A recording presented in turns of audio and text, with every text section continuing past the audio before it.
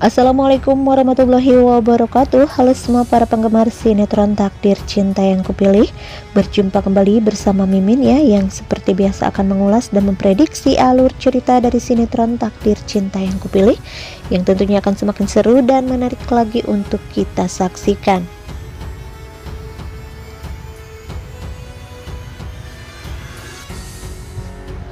Hancurnya hati Brian saat mengetahui jika dirinya akan dipindahkan dari kinder school. Brian yang tidak mau berpisah dari Novia dan juga Kinara. Bahkan Novia yang sangat merasa bersalah karena ini kesalahannya. Yang sudah memilih untuk menerima Jeffrey tapi justru sekarang resiko yang harus dihadapi Bukan hanya oleh Novia tapi juga oleh Jeffrey dan juga Brian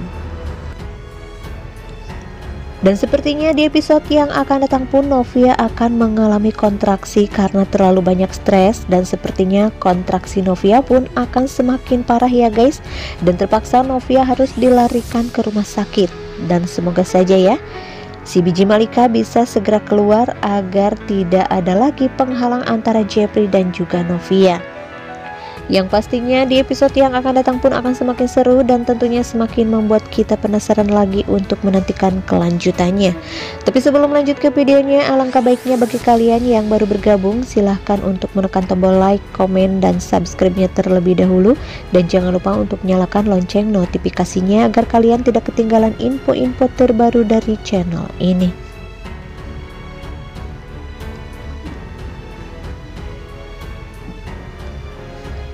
Kepanikan terjadi di Kinder School saat tahu Brian akan pindah dari Kinder School oleh Pak Arjuna. Brian yang tidak terima karena Brian tidak mau berpisah dari Novia. Begitu pula dengan Novia ya guys, Novia pun merasa bersalah karena dirinya Brian pun menjadi korban keangkuhan Pak Arjuna.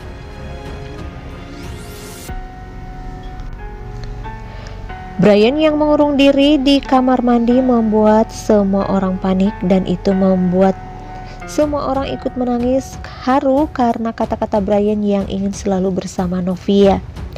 Namun beruntung ya guys, Novia bisa menenangkan Brian dan membujuk Brian agar Brian mau mengikuti semua keinginan Pak Arjuna.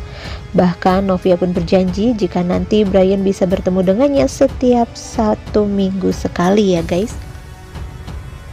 Tapi di situ Novia pun tetap tidak bisa menyembunyikan kesedihannya hingga Jeffrey datang ke Kinder School dan Jeffrey pun sangat terkejut melihat Novia yang sedang menangis. Di situ Jeffrey pun berusaha untuk menguatkan Novia.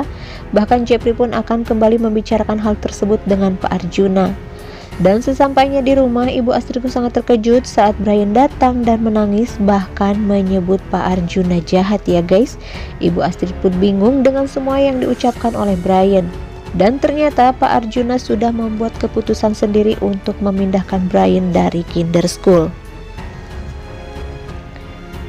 Jeffrey pun sangat terkejut saat tahu jika Ibu Astrid tidak mengetahui soal kepindahan Brian dan sepertinya kali ini Ibu Astrid tidak akan biarkan keegoisan Pak Arjuna menguasai Jeffrey dan juga Brian ya guys. Lalu apakah Ibu Astrid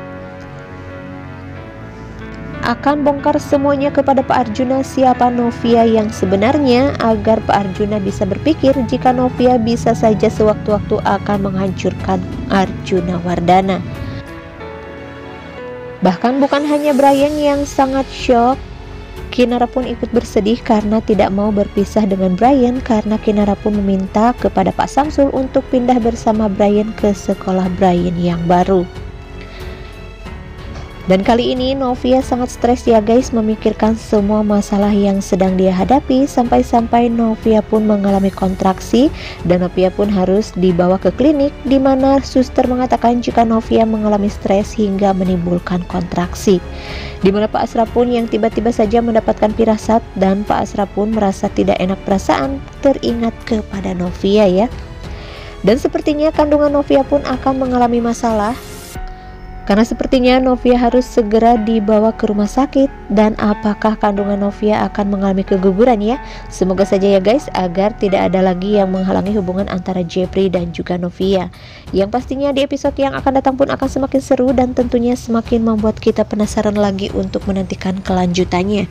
Maka dari itu saksikan terus sinetron Takdir Cinta yang Kupilih yang tayang setiap hari hanya di SCTV. Sekian ulasan dan sedikit prediksi untuk episode selanjutnya. Silahkan tulis saran dan komen komentar kalian di kolom komentar dan jangan lupa untuk share dan selalu sukai videonya ya. Sekian dan terima kasih. Wassalamualaikum warahmatullahi wabarakatuh.